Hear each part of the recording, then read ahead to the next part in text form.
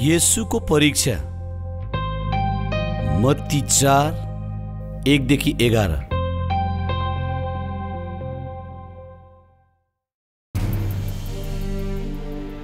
त्यस समय आत्माद्वारा येसु उजाड स्थानमा लगिनुभयो शैतानद्वारा उनको परीक्षा लिनलाई। येसु चालिस दिन अनि चालिस रात उपवास बसे। त्यसपछि उहाँलाई भोक लाग्यो।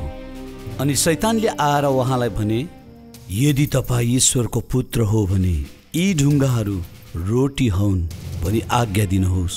यसुले उत्तर दिनुभयो लेखिएको छ मानिस भोजनले मात्र होइन तर परमेश्वरको मुखबाट निस्केको हरेक वचनले बाँच्दछ।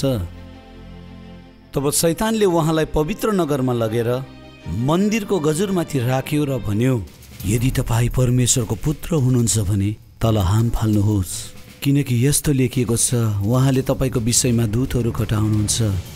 तिनीहरूले तपाईँलाई हात हात उचाल्नेछन् नत्र त तपाईँको खुट्टा ढुङ्गामा बजारिनेछ। यसुले त्यसलाई भन्नुभयो यस्तो पनि लेखेको छ तेरो परमप्रभु आफ्नो परमेश्वरलाई परीक्षा नगर। फेरि शैतानले उसलाई एउटा अग्लो ठाउँमा लगेर सबै राज्य र तिनको गौरव देखाए। तपाईँले घोप्टो परेर मलाई दण्डवत गर्नुभयो भने सबै थोक म तपाईँलाई दिनेछु।